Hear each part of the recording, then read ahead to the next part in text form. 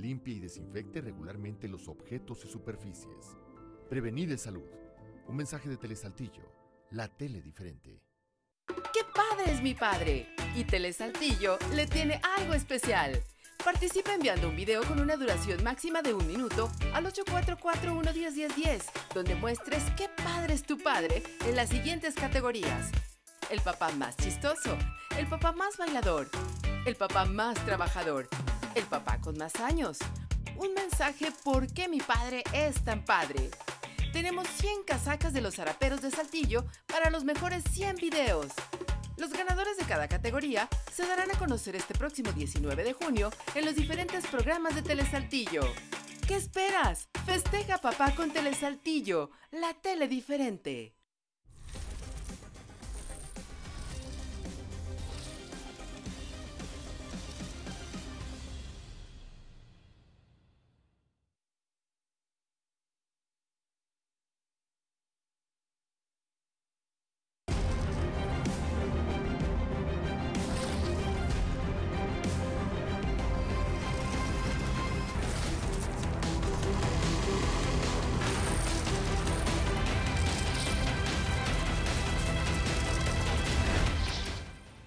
Debido a la crisis en el servicio de salud del magisterio y el fallo de la Suprema Corte que elimina los copagos, agremiados a la sección 38 recibirán atención médica en el Hospital General.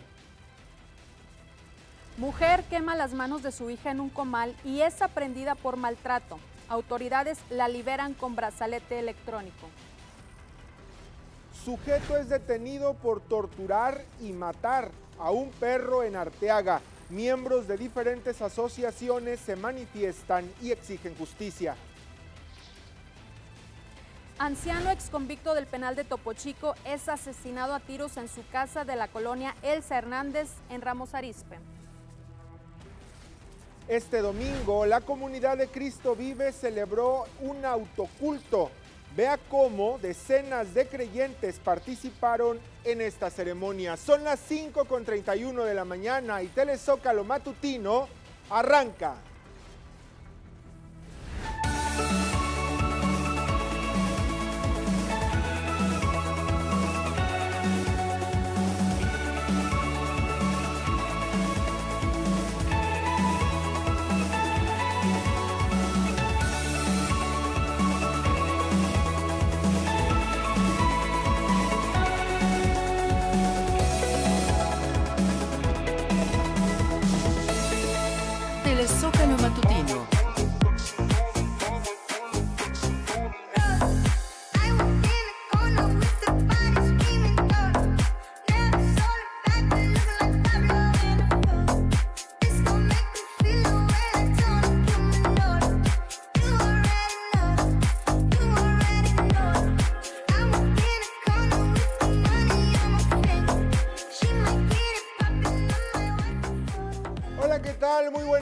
Son las 5.32 de la mañana, 14 grados centígrados y me da muchísimo gusto darle la más cordial de las bienvenidas a Telezócalo Matutino este lunes ya quincena, 15 de junio del 2020. Espero que esté usted despertando en excelentes condiciones de salud y ánimo para celebrar la vida y realizar las actividades que tenga destinadas usted para el día de hoy. Vamos a comenzar, pero no sin antes darle la bienvenida a mi amiga Araceli Rodríguez. Muy buenos días. Muy ¿Qué tal buenos días, fin? Rosalío. Excelente fin, muy descansado, muy tranquilo. Y bueno, yo espero que ustedes en casita también estén listos con su taza de café en mano para estar toda esta hora pre- esperando la información que le vamos a presentar. Le damos la bienvenida, como siempre, a quienes nos acompañan por Telesaltillo y también a quienes están a través de Super Channel y a través de las redes sociales de Facebook. Los invitamos a que sean, como siempre, parte de este noticiario. ¿Cómo lo pueden hacer?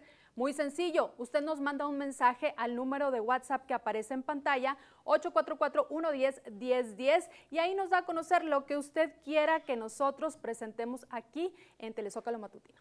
Pues tal y como Janet lo anunció, Araceli, tuvimos un fin de semana sin lluvias, tranquilo, soleado, con temperaturas pues tampoco tan altas, agradables, por ahí más o menos el día de, ayer y el sábado. Pero ¿qué tal va a comenzar la semana? Ya está Janet Morales con toda la información sobre el clima. Muy buenos días, Janet, buen arranque de semana.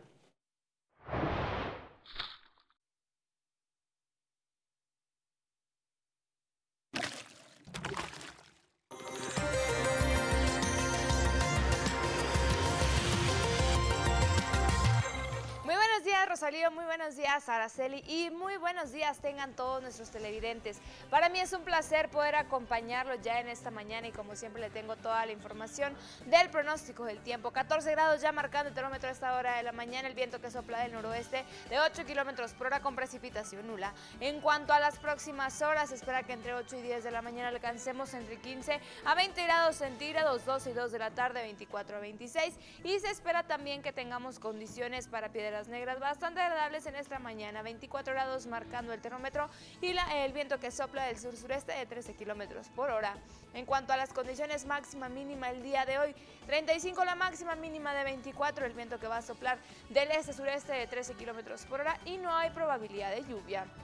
Para Monterrey, la Sultana del Norte, 20 grados en esta mañana. El viento que sopla de 14 kilómetros por hora sin probabilidad de precipitaciones. Y así va a continuar durante todo el día hasta alcanzar como máxima de 32, mínima de 21 y ráfagas de viento de 11 kilómetros por hora. Así que el pronóstico del tiempo. Continuamos con más del otro lado del estudio.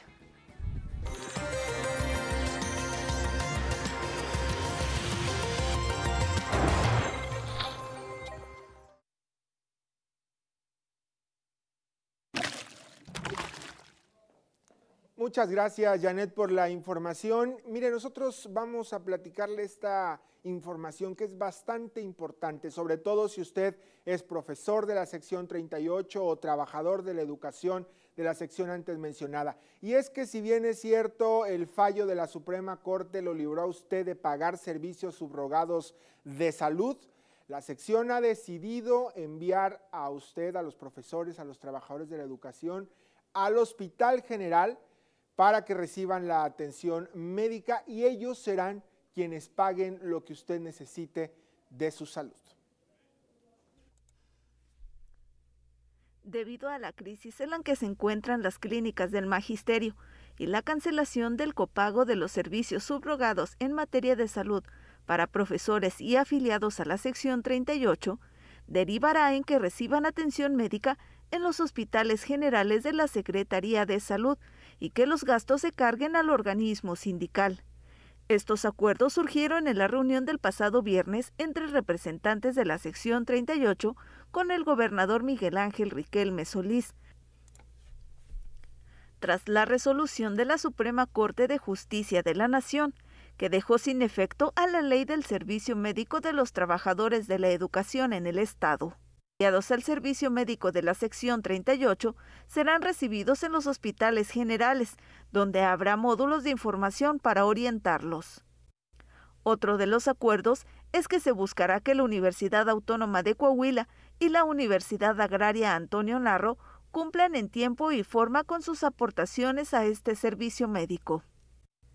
De acuerdo a un video difundido entre integrantes de la sección 38, donde detalla los hechos que han llevado al servicio médico al borde de su desaparición, señala que actualmente son 13.000 agremiados en activo los que sostienen con sus aportaciones a más de 49.500 derechohabientes entre jubilados y sus familias, situación que lo hace insostenible.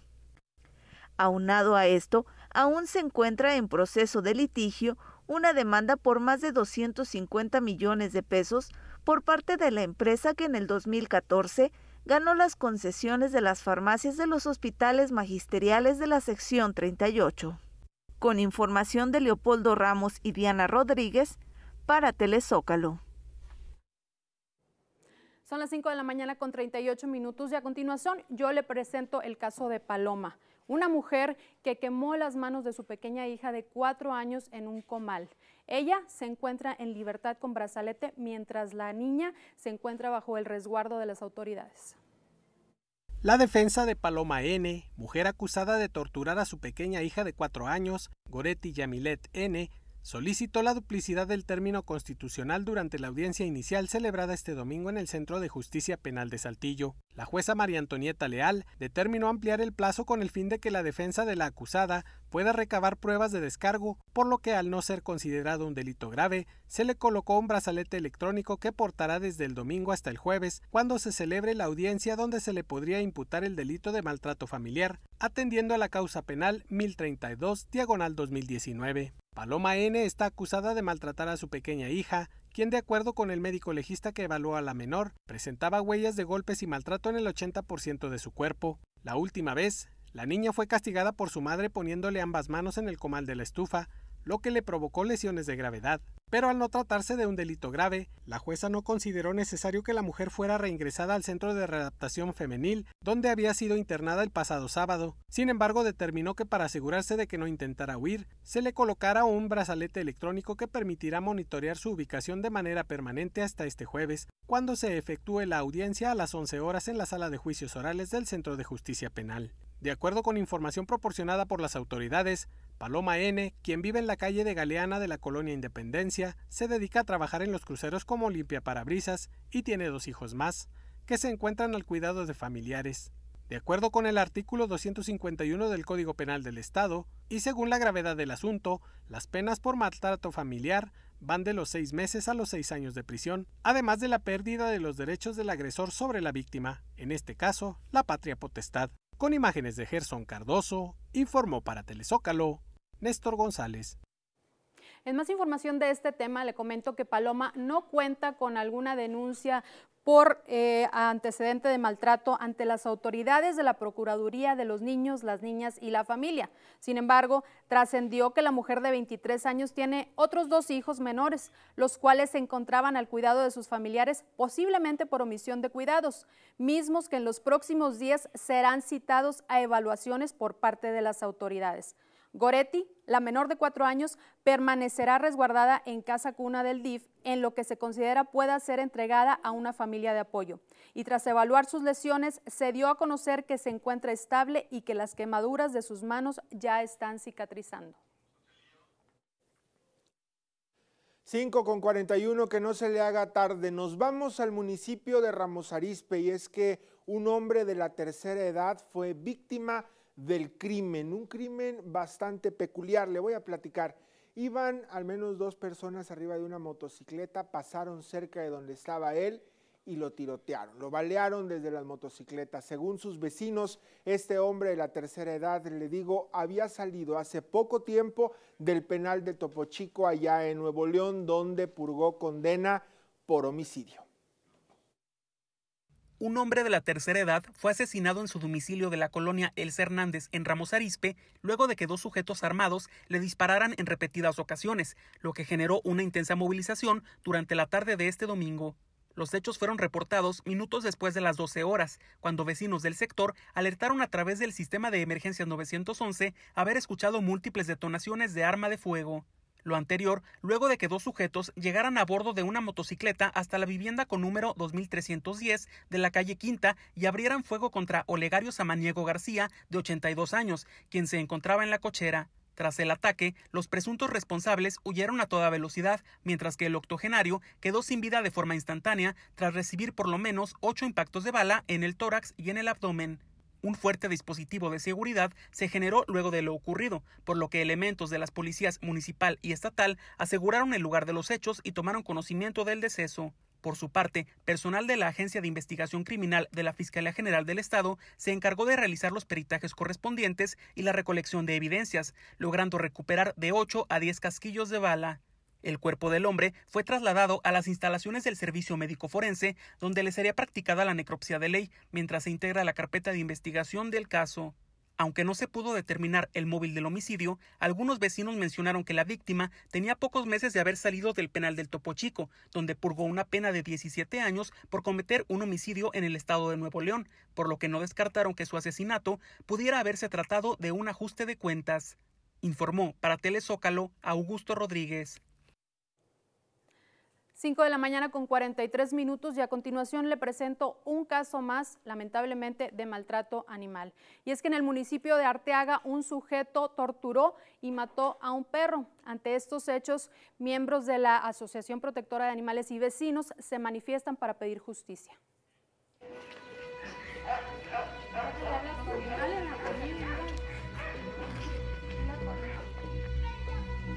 Cállate, ojalá y le hagan lo mismo al güey.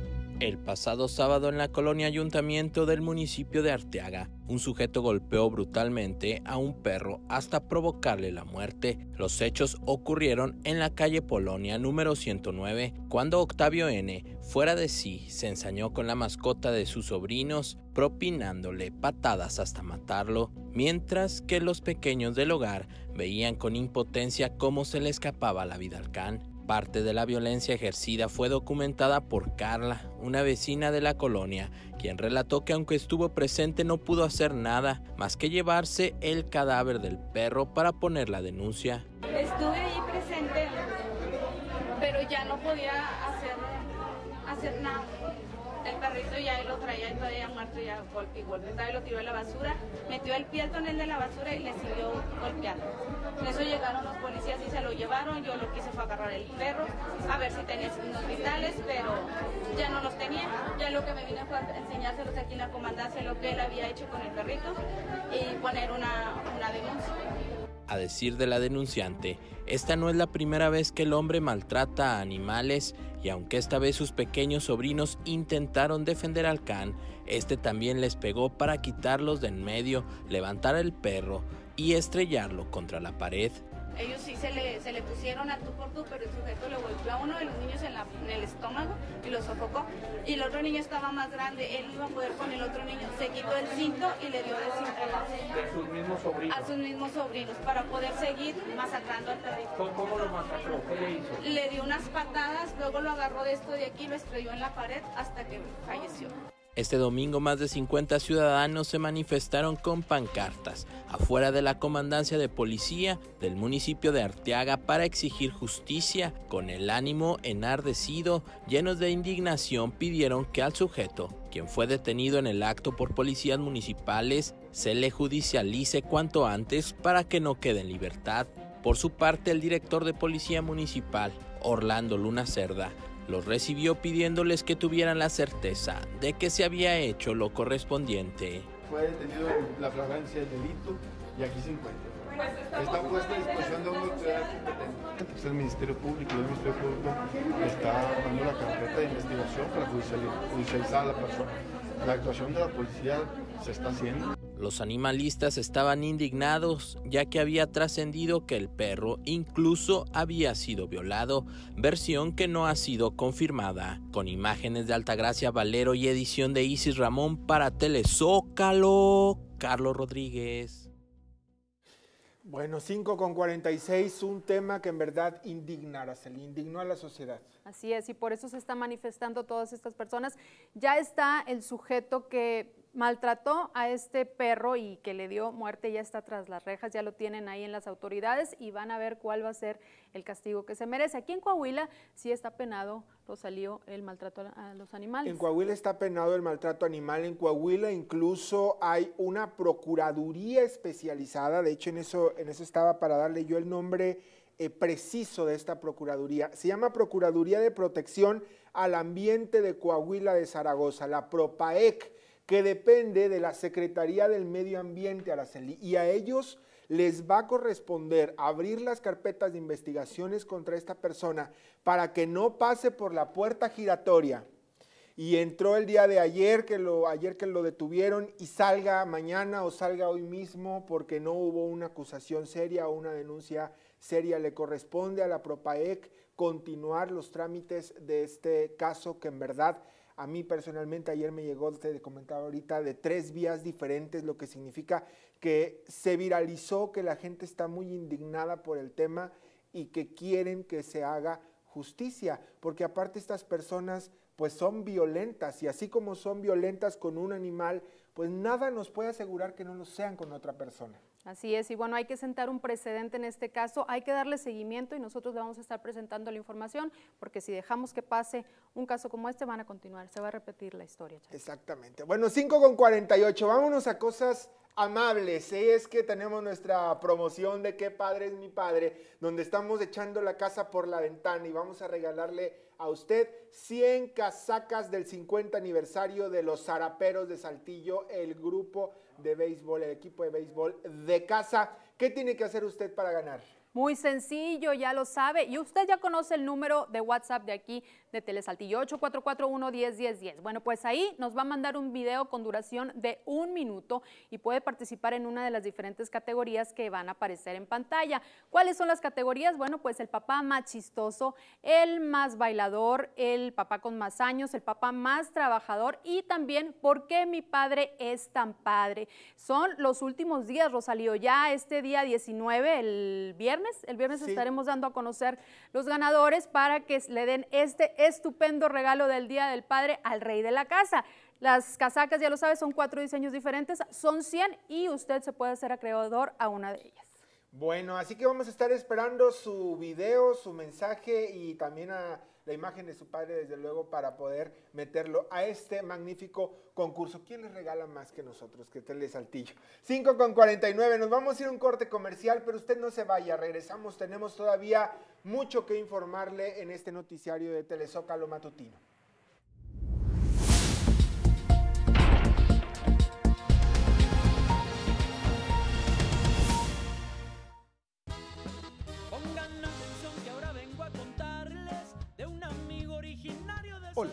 Soy Francisco Tobías y todo buen saltillense debe de saber que el poeta saltillense Otilio González murió asesinado por órdenes del general Álvaro Obregón en la matanza de Huitzlac en 1927.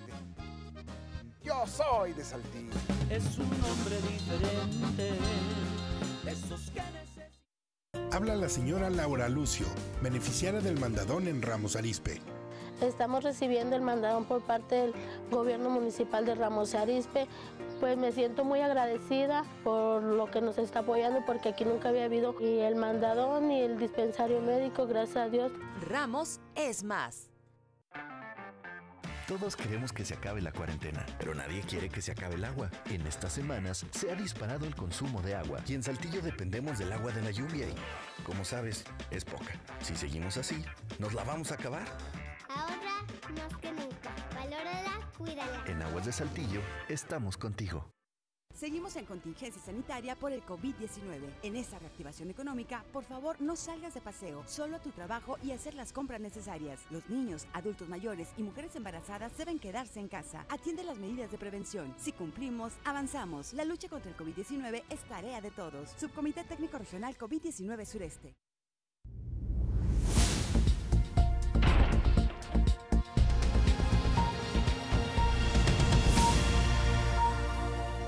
Quiere usted despertar y además hacerlo bien informado, tiene que comprar el periódico líder en la plaza Zócalo Saltillo y es que el día de hoy tenemos mucho que informarle, sobre todo el tema de los profesores, eh, que lo comentábamos arrancando este noticiario, pues está eh, causando diferentes opiniones entre la comunidad. Eh, de profes aquí en la región, el gremio del magisterio. Usted va a poder encontrar eso y además las imágenes de la iglesia Drive de Cristo Vive que se celebró el día de ayer, las automisas, que nosotros también más adelante vamos a estarle presentando información. Tenemos el cartón del profe Mendoza y es que el día de hoy el coronavirus, bueno, ya se está burlando del el decálogo de la 4T desde hace tiempo, pero el día de hoy lo ilustra el profe Mendoza en su caricatura de este lunes 15 de junio.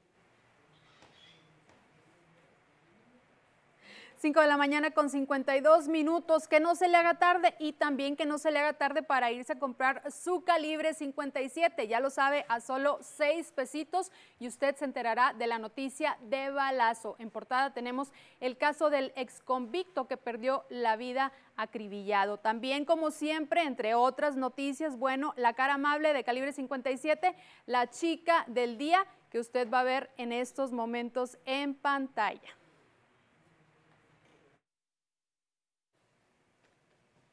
Este fin de semana no fue ligero por el tema del nuevo coronavirus. El día de ayer domingo se registraron 94 nuevos contagios y tres decesos, uno en Ciudad Acuña, perdón, dos en Ciudad Acuña y uno en el municipio de Madero, allá en la región Laguna de nuestro estado. Y el sábado quiero comentarle que tuvimos también el reporte unitario. Cada día nos reportan dos veces, al mediodía y a las 7 de la noche.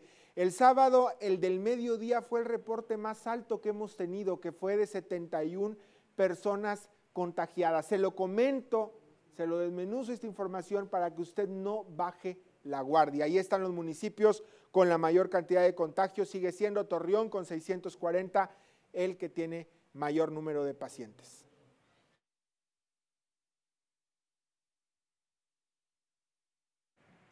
Le tengo más información de este tema y ahora nos vamos hasta la región norte y es que en el municipio fronterizo de Piedras Negras se registraron más casos. Piedras Negras llegó a 108 casos positivos de coronavirus, al confirmarse seis casos nuevos en el reporte del mediodía del domingo y tres más en el corte vespertino de la Secretaría de Salud, sumando así 18 confirmados solo este fin de semana.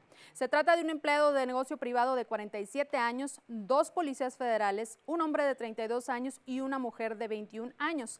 También una estudiante de 16 años, dos amas de casa de 81 y 40 años, un empleado de 32 años y dos pensionados de 80 y 88 años. Además, suman ya 118 casos en vigilancia epidemiológica por parte de la jurisdicción sanitaria número 1, 108 de Piedras Negras, 7 de Nava, 2 de Allende y 1 de Villa Unión.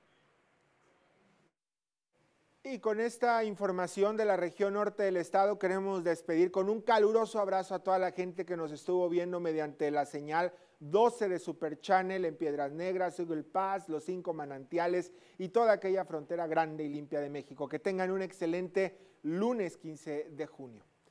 Vamos nosotros a continuar con información. Nos vamos a la colonia Landín, aquí en Saltillo, Coahuila, allá al sur de nuestra ciudad. Y es que el día de ayer, después de tres meses de suspensión de actividades, reabrió Cristo Vive, que usted sabe es una congregación religiosa dedicada, entre otras cosas, al rescate de personas adictas a, bueno, a sustancias tóxicas.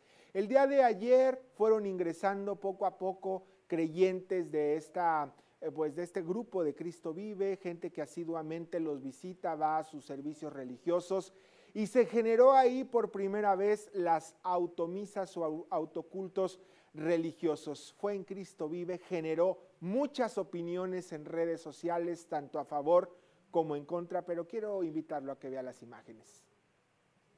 Con más de 200 voluntarios, que vigilaron se cumplieran las disposiciones sanitarias ante el COVID-19, este domingo Cristo Vive reanudó sus servicios religiosos bajo la modalidad de Iglesia Drive. En el área del Ministerio de Arriba nos congregamos los vehículos, ahí está desinfectando a las personas con gel antibacterial, se les checa la temperatura, que traigan todos sus cubrebocas y luego de ahí los guiamos para acá, para el campamento de Dios en la Tierra.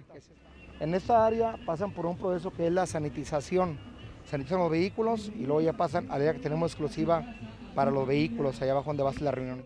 Aunque no se llenó al 100%, el cupo que prepararon fue para 490 vehículos en un área de 40 mil metros cuadrados, donde se colocó un escenario principal con una mega pantalla para dar visibilidad a los congregantes, que en esta ocasión no permitió el acceso a personas de a pie en motos o bicicletas y la línea que se ha seguido es mantener la capacidad máxima del vehículo.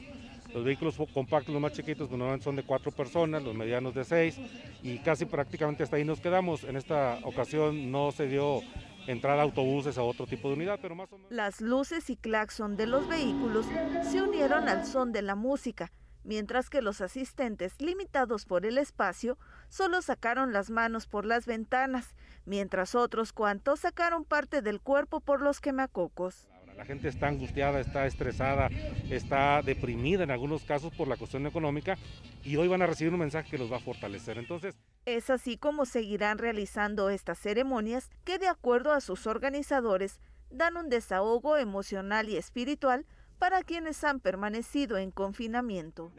Después de que se acabe la pandemia, las drogas siguen, la depresión sigue, el hombre golpeando a la esposa sigue golpeándola, el borracho maltratándola, a sus hijos abandonando. ¿Qué hace Cristo vive? Esa es herramienta del cielo en las manos de Jesús para quitar el dolor y el sufrimiento. Con imágenes de Omar Sánchez, para Telezócalo, Diana Rodríguez. Faltan dos minutos ya para que sean las seis de la mañana, que no se le haga tarde. Y bueno, yo le voy a platicar de una buena noticia a continuación. Y es que a partir del día de hoy, aquí en Saltillo y en la región sureste, van a abrir una vez más los museos sus puertas a todo el público. Precisamente en estos momentos, nuestro compañero Saúl Garza se encuentra en el centro de la ciudad, desde el Museo de las Aves, viendo cómo está llevándose esta situación. Muy buenos días, Saúl.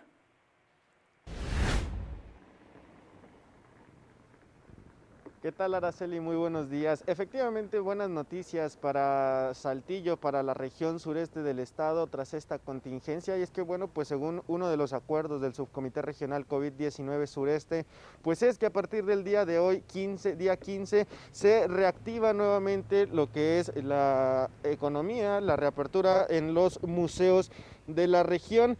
¿Cuáles son estos museos? Bueno, pues todos los que se encuentran en lo que es Saltillo, Ramos, Arteaga y toda esta eh, pues región sureste, vaya. Eh, comentarte que según eh, marcan los acuerdos, bueno, pues los, los, museos que pertenezcan al sistema estatal de la región pues tendrán un horario de apertura de 11 horas a 17 horas, mientras que los grupos de riesgo tendrán su hora específica también, que será de 11 de la mañana a 1 de la tarde, para esto a fin, bueno, pues de evitar aglomeraciones y que solamente en ese, en ese tramo de tiempo pues sea destinado específicamente para esas personas vulnerables, lo que son mujeres embarazadas de la tercera edad, con enfermedades crónicas, así como niños y niñas. Únicamente podrán estar de 11 de la mañana a 1 de la tarde. ¿Cuáles son estos museos, compañeros, que corresponden al sistema estatal? Bueno, pues son eh, el Museo de el Museo del Zarape, Salas Carranza, el Museo Taurino de los Presidentes de la Revolución, el Museo de Palacio de las Momias de Casa Carranza, el Museo Villa y el Cultural de Nadadores. Y los que no correspondan a este sistema estatal, bueno, pues ya será cuestión de cada uno de los museos establecer horas y días para su eh, reapertura. De igual forma se dio a conocer, bueno, pues que lo que son las medidas de prevención para cada uno de ellos y será obligatorio, pues será el uso de cubrebocas para todos aquellos que deseen ingresar a sus instalaciones, así como la instalación de filtros sanitizantes a las entradas, tener gel antibacterial en el recorrido, así como modificarlos con el fin de mantener su sana distancia durante los recorridos que cada uno de estos eh, museos pues tenga para las personas que deseen visitarlo. Muchas gracias, Saúl. Bueno, pues ahí tiene usted cómo van a hacer este regreso a los museos a partir eh, del día de hoy. Gracias, Saúl. Que tengas buen día. Tenemos pendiente que tengan.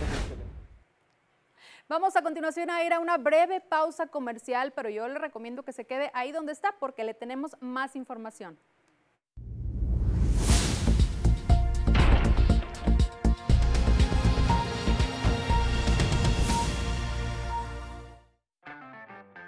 Todos queremos que se acabe la cuarentena, pero nadie quiere que se acabe el agua. En estas semanas se ha disparado el consumo de agua y en Saltillo dependemos del agua de la lluvia y, como sabes, es poca. Si seguimos así, nos la vamos a acabar. Ahora más que nunca. Valórala, cuídala. En Aguas de Saltillo estamos contigo.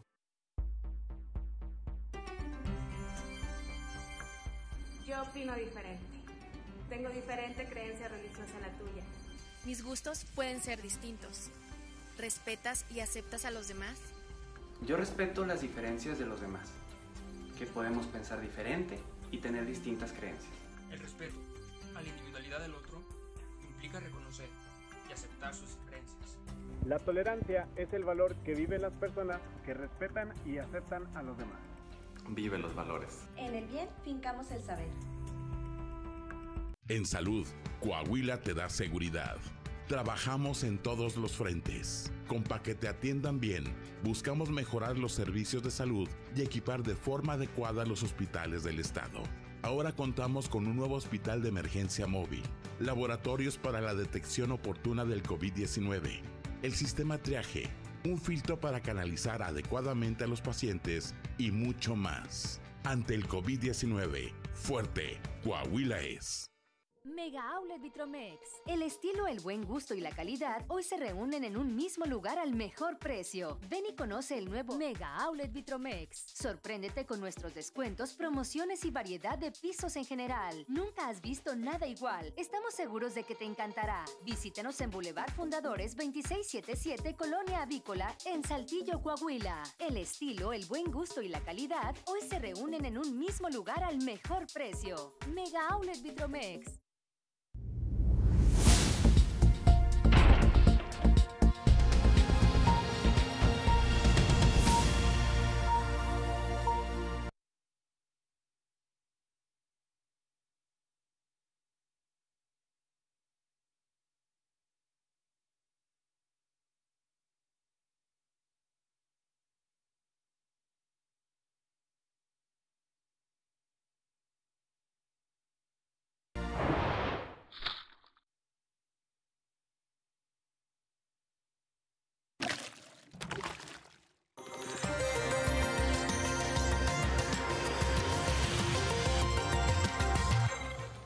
Ya estamos de regreso aquí en Telezócalo Matutino y rápidamente le voy a presentar toda la información que tenemos para el día de hoy en cuanto a la imagen de satélites. Espera que alcancemos eh, condiciones eh, bastante agradables. Aún no se van a ver tan calurosas las temperaturas, pero sí se van a, disfrutar al menos entre 27 y 28 grados centígrados. Pero antes le voy a comentar la imagen de satélites. Espera que tengamos varios canales de baja presión afectando, eh, vaya, toda la parte de la República Mexicana. Uno se va a localizar sobre Chihuahua hasta la parte de Michoacán y otro más se va a localizar desde la parte norte de Coahuila hasta Veracruz. El tercero se localiza sobre la península de Yucatán y gracias a la onda tropical número 4 ya de la temporada, bueno, van a reforzar esas condiciones y se van a ver precipitaciones intensas y fuertes para toda la parte sur. En cuanto a las ráfagas de viento, van a continuar para la parte noroeste el día de hoy. También se espera que para la ciudad capital durante los próximos cinco días alcancemos temperatura entre 28 y 30 grados centígrados con mínima de 14 a 15. Precipitación presente para el día miércoles en un 25% se mantiene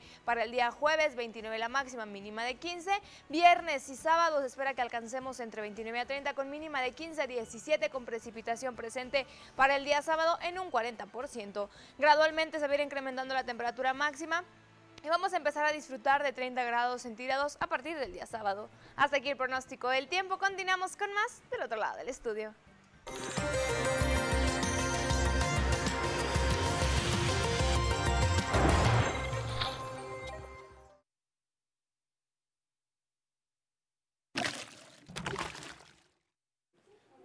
Seis con seis de la mañana y la policíaca no se detiene este fin de semana. Hubo varias cosas que reportar y para eso está nuestro compañero Kevin Carranza, ya más que listo con la información de policíaca. Muy buenos días, Kevin.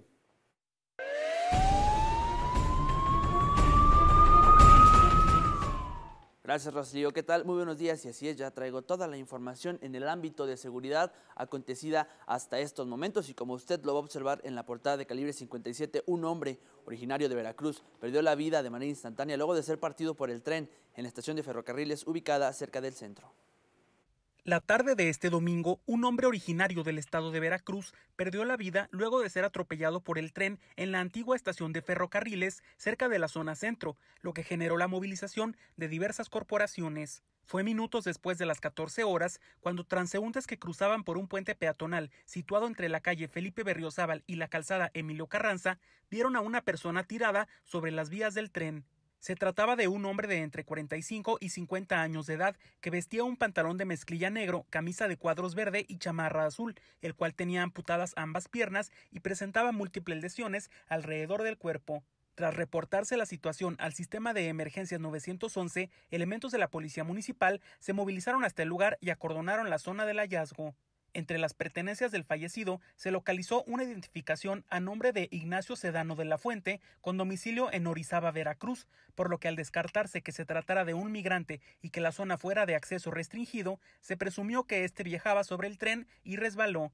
Personal de la Agencia de Investigación Criminal de la Fiscalía General del Estado llevó a cabo la recolección de evidencias y peritajes correspondientes para después ordenar el traslado del cuerpo al servicio médico forense para la realización de la necropsia de ley, informó para Telezócalo Augusto Rodríguez. Y miren, el Boulevard Fundadores, un conductor protagonizó un aparatoso accidente luego de que no respetara su luz roja, provocando que el conductor afectado quedara prensado en su automóvil. Un fuerte accidente se registró en el Boulevard Fundadores al no respetar un semáforo en rojo. En el lugar, un hombre quedó atrapado en su vehículo y un menor de 5 años sufrió fuertes lesiones. Fue a las 2 horas cuando Gerardo Gaona Aguilar, de 26 años, circulaba en su camioneta Ford por la lateral de poniente a oriente y al llegar al cruce con la avenida central no respetó su semáforo en rojo. Ante la situación y la velocidad que llevaba, la unidad acabó impactando a un vehículo Nissan Versa sin placas, conducido por Cristian Alejandro Delgado, de 22 años, que transitaba de sur a norte y tenía vía de preferencia. Cristian Alejandro, al recibir el golpe de su lado, quedó atrapado en el interior de su vehículo, presentando diversas lesiones que pusieron en riesgo su vida, por lo que tuvieron que acudir socorristas del Cuerpo de Bomberos de la Estación Oriente para utilizar las quijadas de la vida. Fueron varios minutos lo que tardaron en liberar al joven y posteriormente fue trasladado hasta un hospital debido a que presentó diversas heridas de consideración. En el auto viajaban dos mujeres y un menor de 5 años, y este último, identificado como Alexander, resultó con lesiones que fueron atendidas por paramédicos de Cruz Roja y de igual manera lo llevaron a un osocomio, ya que contaba con fractura en una de sus piernas. Mientras tanto, el conductor responsable fue detenido por oficiales de tránsito y trasladado a las celdas municipales para quedar a disposición del Ministerio Público, esto al dejar cuantiosas pérdidas materiales y a dos personas heridas. Informó para Telezócalo Estefanía González. Y mire, un presunto policía municipal fue el protagonista de un accidente, esto cuando transitaba sobre las curvas del Landín bajo los efectos del alcohol, posteriormente invade carril y choca de frente contra otro automóvil.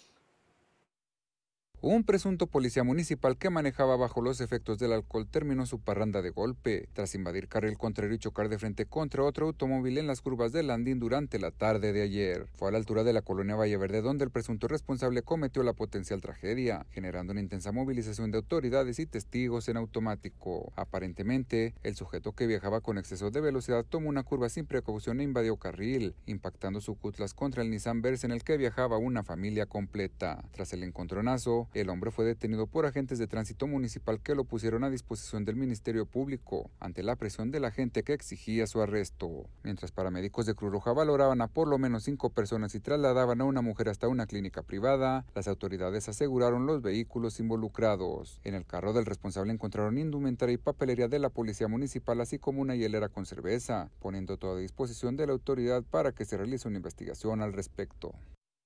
Y mire estas dos situaciones que nos hicieron llegar a través de las redes sociales de Telesaltillo y es que se llevaron a cabo dos robos eh, la tarde de este domingo. Mire, el primer robo fue suscitado en la zona centro, en el primer cuadro de la ciudad, en un domicilio donde pues dejaron afuera esta hielera. Posteriormente una mujer baja de una vagoneta para raptar esa hielera, la cual contenía cerveza y carne. El afectado mencionó a través de redes sociales varias frases, entre ellas que al cabo ni me la quería tomar, al cabo era poquita carne y esperemos, y le de hecho río fueron algunas de las frases que el afectado publicó a través de las redes sociales. Más tarde, otro incidente similar fue registrado en la colonia Bellavista, donde dos sujetos entraron a una carnicería ubicada en dicho sector el afectado menciona que estos sujetos pues se encontraban bajo los efectos del alcohol. Cuando estos hombres pues salen de la tienda y va, a irse del lugar, dentro de su camioneta extienden la manita para raptarse unas escobas que se encontraban exhibidas ahí justamente a las afueras de esta tienda, como lo podemos ver en las imágenes, pues alcanzan a agarrar dos escobas para llevárselas del sector.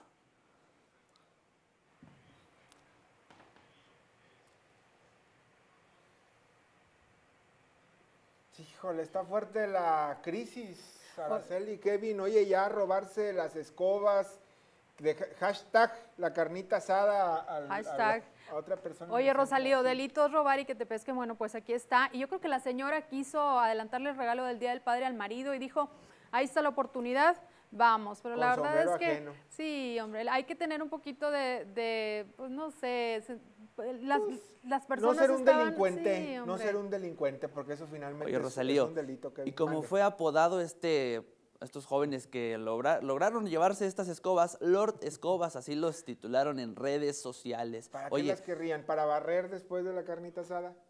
Así es, y luego créeme que estas situaciones pues no han quedado hasta aquí. No sé si recuerdes donde un joven también de igual manera en el centro, sobre la calle Basolo, pues desatornilló la parrilla superior de una camioneta, pues lamentablemente fueron captados por las redes sociales y las cámaras de seguridad. Por el gran Big Brother, todo se ve, ya nada se puede ocultar ni en esta ni casi ningún, ninguna ciudad. Gracias, Kevin, por tu información.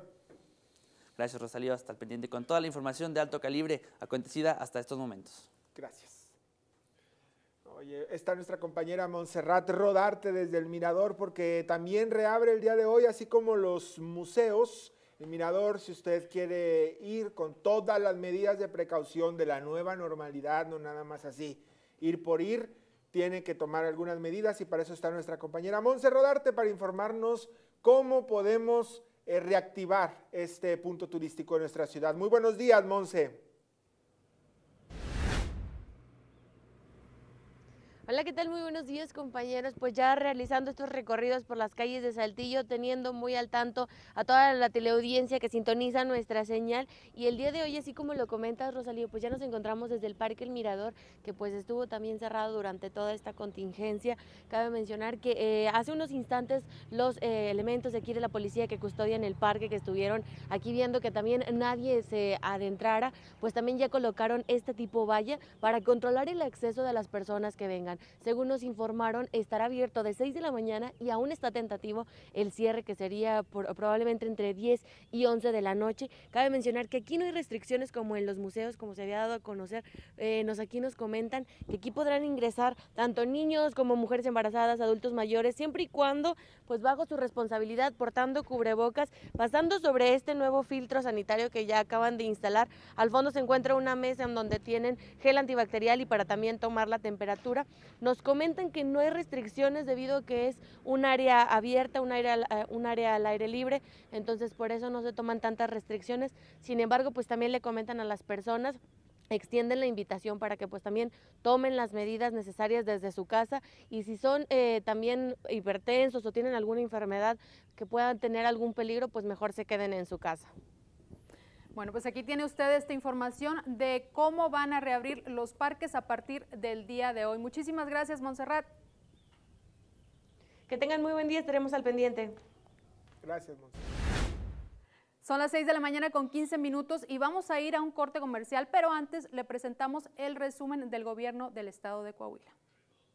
Coahuila te da seguridad, resumen semanal.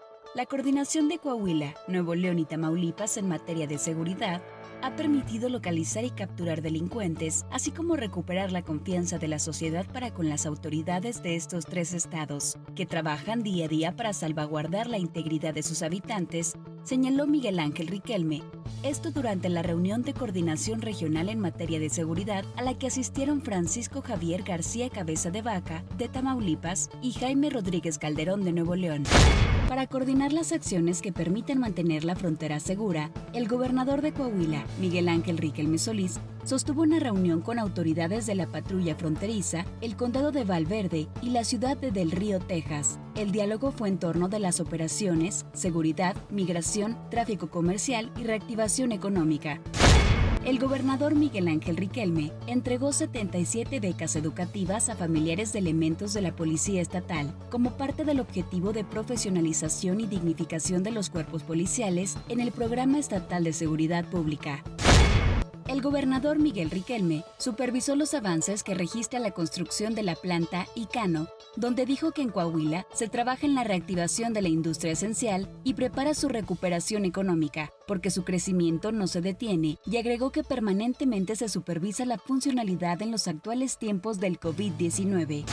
El gobernador Miguel Riquelme y el alcalde de Torreón, Jorge Cermeño, revisaron los indicadores y la situación en torno a la pandemia del COVID-19 para determinar acciones en conjunto para prevenir y controlar el índice de contagios. Para reactivar la economía en el municipio de Saltillo, el gobernador Miguel Riquelme y el alcalde Manolo Salinas hicieron el lanzamiento de la estrategia Echados para adelante Saltillo, para apoyar con diversos programas a más de 50.000 familias con apoyos directos por más de 150 millones de pesos.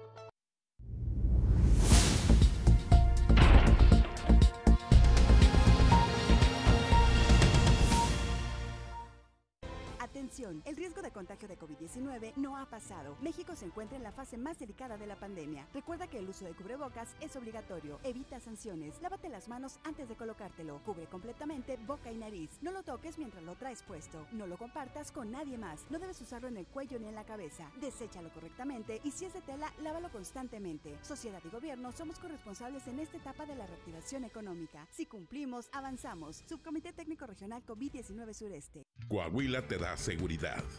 Para evitar más contagios del COVID-19, no debes salir de tu hogar. En el estado te ayudamos con distintos programas de apoyo. A través de Pa' que te quedes en casa, entregamos kits de limpieza, sanitización y alimentación a la población más vulnerable ante la contingencia. Para más información, entra a coahuila.gov.mx. Ante el COVID-19, fuerte, Coahuila es.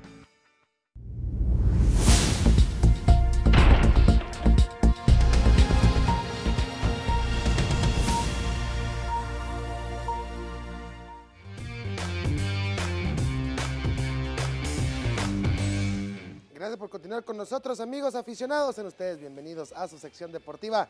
Gerardo Arancibia, quien los saluda. Vámonos con los detalles. Y es que Jaime Ordiales, el director deportivo de la máquina celeste de la Cruz Azul, hizo mención de Misael Domínguez, el saltillense, quien está contemplado para el arranque de la apertura 2020. El director deportivo de la máquina cementera comentó que tanto el saltillense como Santiago Jiménez entran en los planes del estratega de Robert Dante Siboldi, mientras que Alexis Gutiérrez podría salir del equipo en calidad de préstamo. Esto dentro de los movimientos de cara al próximo torneo. Alexis Gutiérrez puede salir en préstamo. El caso de Misael Domínguez lo estamos analizando, pero el cuerpo técnico cuenta con él. Puede haber un par de movimientos, pero llegarían de la misma forma, es decir, en calidad de préstamo, explicó Jaime Ordiales en rueda de prensa virtual previo a lo que será el regreso de los jugadores a la Noria para comenzar a preparar el próximo Apertura 2020.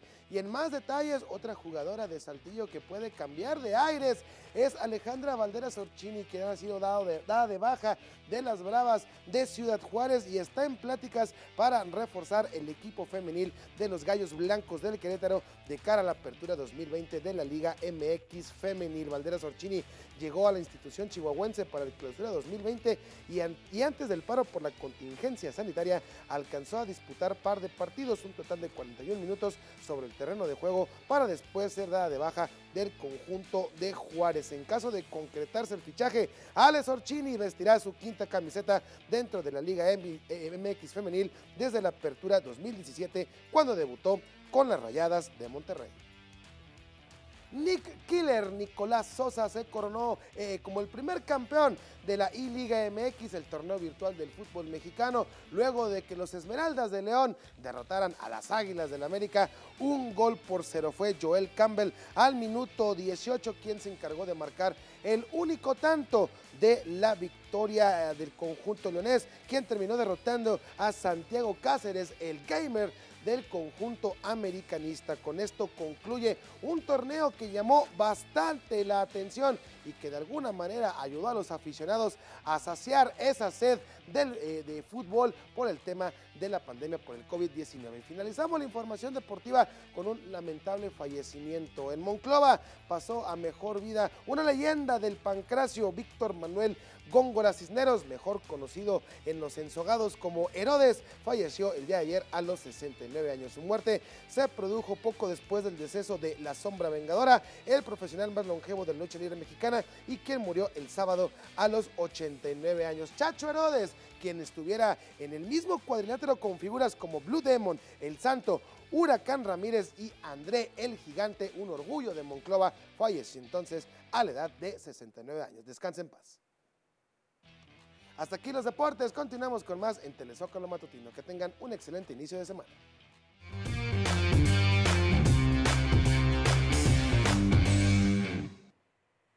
A continuación le presento este caso y es que este fin de semana la policía municipal detuvo a un hombre ebrio por exhibicionista. Esto se suscitó en la colonia Loma Linda.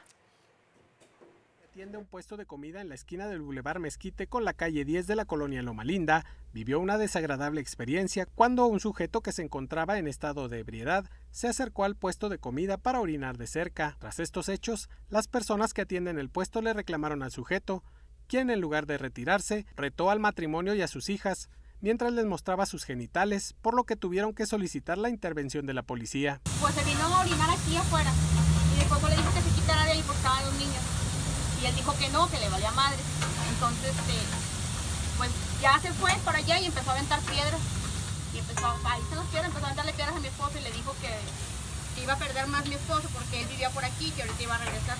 La unidad M1539 de la Policía Municipal de Saltillo acudió al llamado de la familia, sin embargo se encontraron con un grupo de amigos del ebrio que trataron de disuadir a los elementos policíacos para que lo dejaran ir, argumentando que él no era el responsable. Los policías subieron al acusado a una patrulla y se retiraron, pero momentos después varios sujetos que estaban discutiendo con los oficiales regresaron para amenazar a la familia que atiende el puesto de comida porque se habían llevado al ebrio exhibicionista. Con imágenes de Eric Torres, informó para Telezócalo Néstor González.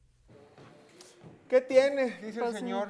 Yo ¿Qué no fui. tiene? Ahora sí que dice que él no fue. ¿Qué tiene que me haya yo eh, se haya hecho del baño ahí cerca de donde estaba este puesto de comida? Oigan, y ahora nos vamos a Ramos Arizpe. En un fraccionamiento privado, Lady Tijeras, como bautizaron a esta mujer, tomó la decisión de ir a darle su malpodada a las palmeras que recién habían puesto el gobierno municipal de Ramos Arizpe. Y es que las personas de ecología estaban podando unos árboles que tenía ella ahí por su casa, fuera de su casa, y les reclamó que no, que no los podaran. Como los señores estaban haciendo su trabajo y no le hicieron caso, ella agarró esas tijerotas que usted está viendo y fue y pues podó la palma que acababan de poner. Vamos a escuchar a Lady Tijeras. Dale lo que quieras, pero estás en mi área, en mi área verde, y es propiedad privada.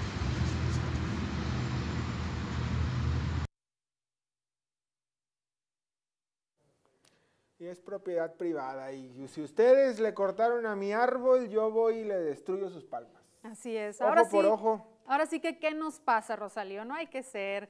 A lo que sí hay que ser es que tenemos que actualizarlo en cómo están las condiciones del clima en estos momentos. Para eso ya está lista nuestra compañera Janet Morales. Adelante, Janet.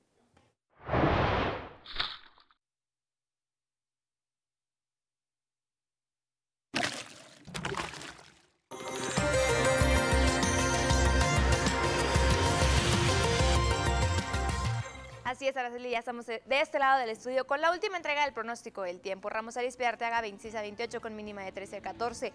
Parras y General Cepeda 28 a 30 con mínima de 13 a 16. Y para la ciudad capital específicamente el día de hoy, 27 grados centígrados con mínima de 13. El viento que va a soplar del norte-noreste de 11 kilómetros por hora. Y la precipitación el día de hoy va a estar presente en toda la región sureste en un 25%.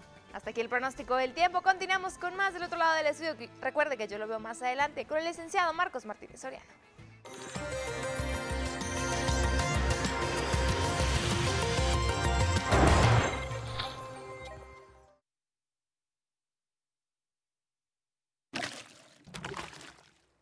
Y le recuerdo visitar María Luisa Collection. Está llegando la nueva temporada y muchas prendas que usted necesita conocer. En esta cuarentena también le tengo una nueva opción. Usted puede hacer su pedido a través de la página web y le va a llegar hasta la puerta de su hogar. Continuamos con más del otro lado del estudio. Que tenga un excelente día. Un excelente día le deseamos, ya tenemos que despedirnos, Araceli. Ya nos vamos, le recordamos que ya está listo nuestro compañero Marcos Martínez Soriano con toda la información y un gran análisis de todas las noticias. Un gran análisis, pero nosotros vamos a desearle a usted los buenos días, un excelente inicio de semana, que le vaya súper bien, que sus planes funcionen como van y para eso lo dejamos con la tecnología de Tele Saltillo, el dron de Gerson Cardoso que ya está en los aires y le dejamos esta gran postal de nuestra ciudad. Hasta el día de mañana, cinco y media de la mañana, aquí lo esperamos.